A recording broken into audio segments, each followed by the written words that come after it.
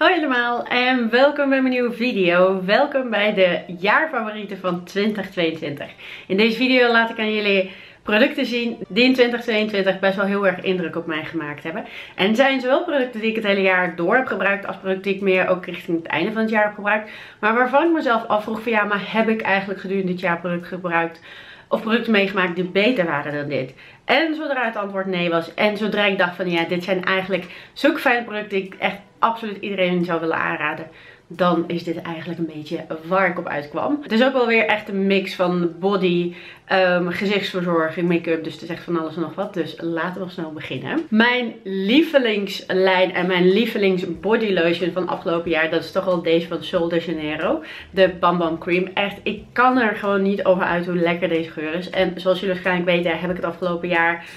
Um, ook een aantal andere lijnen, geurlijnen van uh, deze Sol de Janeiro uh, merk geprobeerd. Maar deze blijft toch echt zo mijn favoriet. Dat is echt zo heerlijk zonnig, warm. Het is echt gewoon één warm deken. En het is een heerlijke geur voor het hele jaar door. Dit potje zit nog dicht, maar ik heb er al een paar van opgemaakt. Dus dit blijft echt mijn lievelingsgeur qua bodyverzorging. En dan dit product. Dit is een body scrub die ik letterlijk het hele jaar door heb gebruikt en wat nog steeds niet op is. Dit is van het merk Organic Shop. En dit merk heb ik ontdekt bij de uh, New Pharma, de Franse apotheek. En ik vind dit echt, dit is zo niet normaal. Dit is een compleet andere ervaring qua body scrubs voor mij althans. Eh, dit is uit hun lijn Body Desserts. En het is een mango variant. Er staat ook echt don't eat me. Uh, het is eigenlijk letterlijk een, mango smoothie op je lichaam. Ik heb hem vanochtend gebruikt en dacht ik al van oh wat, dat, dit blijft zo'n heerlijk product. Dat is echt niet normaal. Um, je kan het namelijk als je het aanbrengt zeg maar met je handen. Je hoeft er een klein beetje water aan te voegen en het glijdt echt door je huid. Je kan er zeg maar, er zitten wat scrubdeeltjes in. in uh, op het moment dat je er minder water aan toevoegt dan scrubt het ook echt wat harder. Het kan nog steeds je, je huid niet beschadigen want dat zijn dingen die gewoon makkelijk in het water oplossen. Maar zodra je zeg maar, daar echt veel water aan toevoegt, dan smelt het letterlijk over je uit. Dus het is echt zo heerlijk. En het is een heerlijk groot pot. Het is super betaalbaar. Dus um, favoriet. De afgelopen jaar heb ik ook echt mijn weg gevonden uh, richting de niche geuren. En um, ik was een beetje klaar met mijn standaard um, parfumerie geur, om het zo maar te zeggen. Ik ben toen een keertje naar Skins geweest en ik dacht ik laat me even adviseren. En toen hebben ze voor mij een geur gevonden, die ik later online goedkoper heb gevonden. Maar goed, maakt niet uit, want dit dingen zijn duur. Maar dit was echt, ik denk, mijn signature geur van het afgelopen jaar geweest. En een geur die ik opdeed bewust als ik dacht, ik wil de hele dag heerlijk die geur blijven ruiken. Want het blijft gewoon de hele dag. Dit is van Kilian en ik bewaar bewust in de doos omdat ik, ja, ik wil hem zo lang mogelijk goed houden, zeg maar. Omdat zodra de geur natuurlijk in contact komt met het licht en alles, dan kan het natuurlijk best wel snel zijn kracht verliezen. Dus vandaar. Maar die fles is eigenlijk niet per se om te worden opgeborgen, want Kijk dan, dit is. Dit is trouwens de geur Angels Share. En het is geloof ik een redelijk populaire uh, geur van Kilian. Je kan er trouwens uh, ook een navul van kopen. Dus zeg maar deze glazen verpakking, dat koop je in principe bij eenmalig. En je kan er inderdaad gewoon navul van kopen. Maar dit is echt letterlijk zo'n heerlijke geur. Ik zal anders de noten zo hiernaast zetten. Maar, want ik kan het letterlijk zelf niet beschrijven. Maar het is gewoon een hele zoete geur. Maar dan heel erg multi-lage geur, met zo maar te omschrijven. Het ontwikkelt zich super lekker en het is een geur wat absoluut niet verveelt. En nogmaals, het is een favoriet bij velen en ik snap absoluut waarom. Dus Kilian, heeft het goed gedaan. Dit is nogmaals mijn signature en I love it. Dan gaan we door naar skincare. En ik zat echt oprecht te twijfelen of ik een cleanser aan deze selectie zou toevoegen. Want ik dacht, ja, hoe bijzonder is een cleanser? En zeker omdat het een cleanser is die ik nu, nu gebruik. Al een aantal maanden moet ik zeggen. Dus um, ja, echt een aantal maanden. Maar ik dacht, ja, ik heb eigenlijk het afgelopen jaar niet per se eentje gebruikt die veel beter was dan dit. Deze is van Kate Somerville. En het is een redelijk dure cleanser. De Goat Milk Cleanser. Ik heb hem toen een keertje in de sale gekocht. En ik heb ook dit jaar geprobeerd de cleanser van Elemis. En ook die is aan de duurdere kant. Daar was ik ook van onder de indruk. Ook al was het een mini. Maar toch, deze het is echt letterlijk een cleanser wat aanvoelt als een soort van zacht kussen, zacht deken. Het is zo heerlijk zacht. Het is sowieso bedoeld voor wat geïrriteerdere huid. Dus het is zo'n hele milde cleanser. Het heeft een geur. Maar die geur is ook wel heel mild en heel erg warm en comforting, zeg maar. Dus echt, ik hou van deze. En hij maakt mijn gezicht gewoon prima schoon. Zonder dat squeaky clean gevoel. Want het droogt absoluut je huid niet uit. Maar het is gewoon echt alles wat je van een cleanser zou willen. En nogmaals, de geur, ik weet niet, in cleansing producten kan ik echt de geur waarderen. Dus bij deze is het absoluut ook het geval. Ik zat oprecht te twijfelen van, ik heb het afgelopen jaar zoveel serums geprobeerd, maar wat was nou mijn favoriet? Ik heb nou wel één favoriet die ik aan jullie ga laten zien. En ehm, dat is gewoon een serum dat ik dacht van, ik kan deze gewoon niet missen. Dat is het. Dit is van The Ordinary, ook weer heel lekker simpel. En uh, dit is, volgens mij ook al duizend keer benoemd, maar dit is een salicylic acid, 2% en Hydros Solution. En wat het eigenlijk is, het is gewoon een salicylzuur in uh. En het is dus een olieachtige substantie en daarom is het voor mijn gevoel heel erg geschikt. Het ziet juist ook voor wat droog uit. Mijn huid is al afgelopen jaar echt best wel aan het droge slash gevoelige uh, kant geweest. Dus ik had hydratatie nodig. Maar mijn huid heeft ook salicylzuur nodig. Omdat het best wel best wel snel last kan hebben van meeeters en dergelijke. Maar dit is echt, ik, echt, ik gebruik het dan nou, een beetje afhankelijk van, ik heb niet per se vast moment dat ik het gebruik, maar een beetje afhankelijk denk van, oh ja, ik voel een beetje dat mijn huid een beetje verstopt aan het raken is. Dus ik heb even salicylzuur nodig en dan gebruik ik deze s'avonds. Ik combineer voor de rest niet per se met een ander serum. Het zit al in squalene olie, dus squalene is op zichzelf al lekker voedend. Dus mijn huid heeft niet meer dan dit nodig in principe. En dan een uh, crème eroverheen, klaar. En de volgende ochtend, ik merk gewoon oprecht het verschil. Ik weet het niet, het werkt voor mijn gevoel echt als een tierenleer. De volgende ochtend en de dagen daarna merk je inderdaad het effect van salicylzuur. Dus dat je huid steeds schoner wordt. Ik bedoel, het is geen miracle wonder, maar je merkt absoluut het verschil met deze. Omdat het in squalene is, wat ook een van mijn lievelingsingrediënten is. Um, vind ik dit gewoon een topproduct. En ik hou er gewoon van. En ik moet zeggen, ik gebruik hem dus echt regelmatig. Want er zit echt nog super veel. Er zit nog echt meer dan de helft in. En ik, ik snap het niet. Dus ik ben een beetje bang dat hij ook echt niet goed wordt voordat hij opraakt. Maar dat gaan we wel zien. En ik zat dus te twijfelen. Want ik heb natuurlijk heel veel andere serums gebruikt. Maar er is voor mij tot nu niet per se één serum dat ik denk van... Oh ja, die zou ik echt opnieuw willen kopen.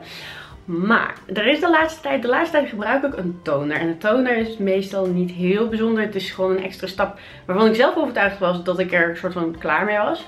Maar ik heb deze laatst dus ontdekt. En ik blijf maar gebruiken. Ik kan hem gewoon niet wegleggen. Dit is van Beauty of Joseon. Uh, ik heb, ik weet het, heel vaak uitgebreid Beauty of Joseon. Maar het is een Joseon. Excuses, mijn Koreaanse is niet zo sterk. En dit is een Ginseng Essence Water. Wat echt dit... Oké, zeker nu, zeg maar in het najaar, is mijn huid mega mega droog. En ik merk zodra ik deze gebruik, deze gebruik ik meteen als ik mijn huid heb uh, gereinigd. Ik gebruik deze een beetje op mijn handpalmen en ik echt, dit is de meest heerlijke um, hydratatiestap ever. Want je merkt gewoon, je huid die zuigt het op. Mijn huid geniet hier gewoon van. Het drinkt het zo op. En het bevat trouwens ook voor de rest niacinamide en hele fijne dingen. En ginseng op zichzelf wat al heel fijn brightening, zeg maar, verhelderend effect heeft. Maar goed, dus een heleboel fijne ingrediënten zitten hierin. Maar nogmaals, die hydratatie, dat is voor mij echt, dat heb ik niet zo heel snel meegemaakt. En zeker niet in zo'n toner. En het is niet plakkerig. Het trekt redelijk snel in. Maar je huid wordt een glowy van. Ik weet niet, ik hou hier gewoon van. Ik kan hier nogmaals geen genoeg van krijgen. Dus ik dacht, oké, dit product, ook al gebruik ik het maar redelijk recent. Maar het heeft zoveel indruk op mij gemaakt dat ik hem gewoon aan dit lijstje ga toevoegen. En een crème die ik aan jullie wil laten zien. Um, ja, dit was een rip uit mijn lijf. Maar ik heb hem toch uit mijn uh, opgemakte mandje, opgemakte beautyproducten mandje gevist. Want ik, ja, eh, dit kan niet, weet je. Dit, dit, dit heeft echt oprecht indruk op mij gemaakt. En het was absoluut wat ik ervan verwacht had. Um, dat is van Tatja. Dat is een The Dewy Skin Cream. Tatja is duur, I know. Maar het is voor mij het stukje luxe Waar ik, ik weet niet, ik, ik had er zo'n behoefte aan. Echt, als je daar geld voor over hebt en uh, als je gewoon even één luxe product in je skincare routine wil... Tatja is echt best wel heel erg fijn. En Tatja is gewoon te koop bij Space K. Dus ik vind het fijn dat het nu zo lekker uh, toegankelijk is. Dus ik dacht, oké, ik kan absoluut geen volle skincare routine van Tatja doen. En dat zou ik ook niet willen. Maar dit was absoluut voor herhaling vatbaar. En ik weet dat ze meerdere soorten crèmes hebben. En ik weet dat hun, de Blue Indigo crème geloof ik, dat is, die is nog veel duurder dan deze. Die is echt helemaal uh, viraal gegaan en echt helemaal heel populair. Mm, misschien ooit. ik ga ervoor sparen, denk ik. Maar deze was in ieder geval echt heel erg fijn. En wat, ja, is misschien ook wel goed om te vermelden. Wat doet hij? Hij geeft inderdaad een duw. Dus behalve de verzorging en zo, hij, hij geeft hydratatie. Hij geeft genoeg hydratatie aan mijn huid. Hij geeft ook echt een hele, hele mooie glow. En het is niet de glow, zeg maar, wat je krijgt bijvoorbeeld met... Sommige crèmes bevatten een soort van poederdeeltjes of zo. En daarmee krijg je ook een soort van gloed en een soort van blur effect. Nee, deze geeft echt... Ik kan, ik kan het gewoon niet omschrijven. Het is heel subtiel heel chic. En ik, de geur is gewoon heel erg aangenaam. Ook weer heel chic. Dit geeft gewoon echt, dit is letterlijk luxe in een potje. Dus ik denk dat dat een beetje een goede omschrijving is. Maar ik hou er gewoon van. En van de dure Tatja een hele betaalbare La Roche-Posay. Dit is mijn Redder Note. Dat blijft het echt al een paar jaar eigenlijk. Dit is van La Roche-Posay hun Cicaplast balsam. De B5 balsam. En ik gebruik deze als ik irritatie heb. Overal op mijn lichaam. Het maakt niet uit. Op mijn ellebogen. Als ze echt echt mega droog zijn. Uh, ik heb hier op mijn nek irritatie gehad. Deze helpt echt binnen no time die te verwijderen. Ook als je een beetje soort van eczeemachtige plekjes hebt. Deze helpt echt goed daartegen. En het is ook een heel fijn product. Ik gebruik hem ook wel eens bijvoorbeeld als mijn huid echt droog is. Of ook bijvoorbeeld in combinatie zelfs met deze. Als ik denk ik wil een soort van een iets meer occlusievere uh, nachtcreme hebben. Dan gebruik ik deze gewoon in plaats van de nachtcreme. Of zelfs over mijn nachtcreme als ik gewoon nog een laag zeg maar eroverheen wil. Dus ja, deze is echt multifunctioneel heel goed. En hij laat wel trouwens een heel licht wit vaasje achter. Maar dat ben ik inmiddels wel gewend. En op zich, het valt allemaal wel reuze mee. Mijn favoriete SPF kon het ook anders. Uh, ik vond deze geweldig dit jaar. Dat is van Biosans. Uh, dat is een Squalane plus Zinc Sheer Mineral Sunscreen. Ook weer Squalane uiteraard. Ik snap nog steeds niet dat deze niet mega mega populair is. Want dit is gewoon een voorbeeld van een minerale SPF. Um, waar, wat gewoon doorzichtig is op je huid. Het geeft je een hele fijne glow. Het is gewoon heel erg... Ja, je huid ziet er gewoon glowy, gezond uit. Maar ondertussen is het mineraal SPF. Want mineraal SPF staat juist bekend niet alleen maar om een zwaar gevoel zeg maar, op je huid. Je kan hem best wel voelen. Maar ook om een witte waas. Maar deze doet het niet. Althans bij mij doet hij dat niet. En sowieso echt... Het, het voelt gehydrateerd. Het voelt gewoon heel erg fijn. En deze is echt... Bioscience heeft maar één SPF. Maar wat voor één top. Deze van Fenty. Ik had laatst mijn What's in My Bag met jullie gedeeld. En toen zei ik ook al, dit is echt mijn lievelings uh, lipverzorgingsproduct met een kleurtje. En uh, Fenty lippenbalsam, ze zijn er, ik geloof echt in drie kleuren of zo. Ze hebben ook één kleurloze. En dit is nummer 02 Latte Lips. Oh ja, en dat is een Pro Kissing Luscious Lip Balm nou eigenlijk gewoon een heel fijn, heel neutraal beige kleurtje. Of, ja, en hij hydrateert gewoon goed mijn lippen. Dus eigenlijk een heel simpel product. Ik moet zeggen, ik heb echt getwijfeld qua lipverzorgingsproduct. Ik ben sowieso het afgelopen jaar mega into lippenbalsems en dergelijke geweest. Gewoon, denk ik, nog meer dan normaal. En lipolies en dergelijke. En ik was nog op het rijtje om dezelfde Tatja hier aan toe te voegen als lievelingslippenbalsem. Maar ja, nee, die was toch net niet, zeg maar. Het was toch niet net een 10 van 10 punten, zeg maar. Dus ik dacht, nee, dat ga ik niet doen. Maar deze, in principe, gewoon echt heel erg fijn. Oké, het afgelopen jaar was natuurlijk ook het jaar waarin Elf een mega populair product heeft uitgebracht. Wat een dupe is van Charlotte Tilbury, The Glow, nog wat, weet ik veel. Maakt niet uit. Uh, we hebben het niet over Charlotte Tilbury. Uh, dit is een Hello Glow Liquid Filter. Jongens, geweldig. Echt, I love deze. En ik gebruik hem, merk ik bij mezelf ook echt best wel heel erg multifunctioneel, zeg maar. Um, officieel gebruik ik, ja, ik gebruik hem letterlijk voor van alles en nog wat. Vandaag heb ik hem ook gebruikt, maar vandaag heb ik ook een andere highlight gebruikt die ik trouwens ook wel wilde toevoegen aan deze favoriet. Maar ik dacht, die gebruik ik echt letterlijk net pas. Maar deze gebruik ik echt al maanden voor van alles en nog wat. Maar ik heb hem gewoon vandaag met mijn foundation een beetje gemixt. Ik bedoel, dat kan ook. Uh, ik gebruik hem eigenlijk bijna nooit per se als primer. Ik gebruik hem echt, op zich is dit natuurlijk bedoeld. Nou ja, eigenlijk is hij ook wel als multifunctioneel bedoeld. Uh, ik gebruik hem nooit onder mijn foundation. Ook omdat ik niet per se heel erg fan ben van elke dag foundation dragen. Ik draag dan liever dit over mijn hele gezicht. En dan poeder ik gewoon een en ander af. En dat is echt genoeg. Het is niet zo dat je echt als een shiny bol, zeg maar. En kijk, je kan het op mijn voorhoofd volgens mij een beetje zien. Ik bedoel, dit is ook afgepoederd. Nogmaals een beetje, een beetje foundation. Maar ja, het geeft gewoon een hele mooie glow. Ja, ik, weet, ik hou er gewoon van. Dus, en af en toe zit ik naar mezelf te kijken, want dan doe ik er namelijk ook nog een primer onder, waar ook nog shine in zit. En dan zit ik naar mezelf te kijken en denk van, oh, het is wel echt heel veel glow. Maar puur met deze, het is echt heel erg te doen. En wat ik ook merk toen mijn huid bijvoorbeeld heel droog en heel erg uh, geïrriteerd was. En ik wilde toch Ehm, ja, ik weet niet, mijn huid iets meer oppeppen qua met make-up, zeg maar, en qua kleur. Dan voegde ik ook deze toe en echt instant effect. Gewoon, het ziet er net wat gezonder uit, zeg maar. Ook qua kleur. Ze hebben deze echt in zoveel verschillende kleuren. Charlotte Tilbury heeft geloof ik 6 en deze hebben er 30 of zo, ik weet niet. Uh, en heel veel mensen, ik heb die van Charlotte Tilbury nog nooit geprobeerd, behalve in de winkel. Ik heb hem één keertje in de winkel geprobeerd en ik dacht, waar waar gaat de hype om? Heel veel mensen zeggen die Charlotte Tilbury kennen, zeg maar, qua dagelijks gebruik of zo, dat deze alsnog beter is. Dus uh, als je deze nog niet geprobeerd hebt, echt een aanrader. Dan wil ik het hebben over een product wat ik niet elke keer heb gebruikt, maar als ik echt, echt voor een foundation look ga en als ik echt even wil uitpakken en mijn gezicht even wil opwarmen met, met zeg maar bronzer en zo, ik gebruik deze van Sol. En Sol is het merk van Colourpop in combinatie eigenlijk met de Random Beauty Blender. Niet per se deze Beauty Blender, maar een spons. Dat is trouwens ook wel een ding. Opeens hou ik van sponsen, maar goed, maakt niet uit. Ehm, deze, echt. Ik dacht in de eerste instantie toen ik hem kocht, omdat volgens mij is dat de kleur medium. Ja, dat is de kleur medium.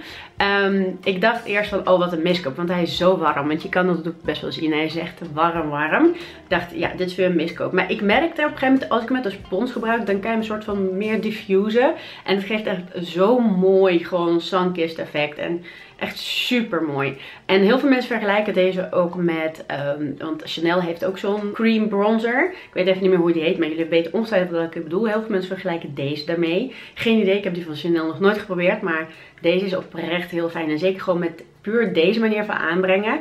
Kost ook niet te veel tijd of wat dan ook, maar echt, deze heerlijk. En als laatste, de oogschaduw paletten. Ik echt Jullie weten dat ik laatst mijn uh, lievelings die ik echt al jaren tot mijn favoriet uh, bombardeer, dat ik die moest weggooien omdat die echt al te oud was. En mijn ogen raakten helemaal geïrriteerd, maar dat was niet mijn enige naarspaletten. En ik merk gewoon dat ik, ja, NARS maakt misschien niet de, de meest excited palettes, maar ze zijn zo vriendelijk qua gebruik. De shimmers zijn super mooi. De matkleuren zijn in de ene paletten wat beter dan in de andere. Maar qua zeg maar, combinaties, qua, qua kleurkeuze wat, erin, wat ze erin stoppen, het is allemaal redelijk neutraal. Maar het is neutraal maar van, zeg maar. Neutraal en gewoon dat je jezelf nog wel elke dag zeg maar kan uitdagen. Of dat je zelf, uh, zelfs een, een, een, veilige look voor jezelf kan bedenken. Wat toch nog best wel interessant kan zijn. Dus ik hou van naartspalettes. En deze heb ik dit jaar veel gebruikt. Dit is een Climax paletten. En dat is hun Extreme Effects paletten. Volgens mij brengt NARS eens in zoveel tijd van die uh, limited editions uit. En ik bedoel, deze is het meest minst excited. Maar ik merk gewoon dat ik hem alsnog graag erbij pak. En deze is gewoon, die is gewoon echt heerlijk. Deze heb ik vandaag ook gebruikt. En ik merkte gewoon, ja, ik word, ik word hier gewoon blij van. Ik weet niet. Deze paletten zijn gewoon voor elke dag ideaal. En ik merk dat ik al heel snel uitgekeken raak zeg maar, op andere paletten. Of dat ik denk van, ja, weet je, het is net niet. Of het is net niet voor elke dag of wat dan ook. Maar deze, dit is echt alles wat ik voor elke dag wil hebben eigenlijk. En dat was het. Dat waren mijn jaarfavorieten van 2022. Laat me weten wat jouw meest favoriet product van afgelopen jaar was. Iets wat voor jezelf echt gewoon mega, mega mindblowing was. Waarvan je denkt van, oh ja, dat zou ik echt, echt iedereen willen aanraden. Laat het met je weten. Wie weet ga ik voor mezelf wat nieuws ontdekken. Voor nu wil ik jullie bedanken dat jullie ook 2022 met mij hebben samengebracht. Of dat jullie mijn kanaal hebben ontmoet in 2022 ontmoet. Nou, ik weet niet. Maar in ieder geval, ik wil jullie bedanken voor 2022. Echt interactie met jullie, dat is mijn lievelingsding ever. Jullie comments, jullie berichtjes op Instagram, echt, I love it. Echt ontzettend bedankt daarvoor. En um, al jullie ideeën, al jullie support. Zelfs als ik een week niet heb kunnen uploaden. Het berichtje van joh, gaat het goed? Weet dat soort dingen. Echt oprecht Jullie maken mijn jaar daardoor en deze hele hobby echt zo geweldig. Dus ontzettend bedankt. We gaan voor een heel mooi 2023. Laten we hopen dat deze heel veel lichtpuntjes gaat bevatten. We gaan er gewoon voor. Positieve instelling moet wel toch? Als jullie deze video leuk vonden, zoals altijd, vergeet niet het duimpje omhoog te doen. Mocht je nog niet geabonneerd zijn op dit kanaal, dat kan je hieronder doen. En met het notificatiebeltje aanzetten, dan zorg je ervoor dat YouTube jou als goed gaat informeren als ik weer geüpload heb. En als het goed is ben ik er volgende week zondag om 8 uur weer. En hoop ik dat je weer gaat kijken. Tot dan. Doei!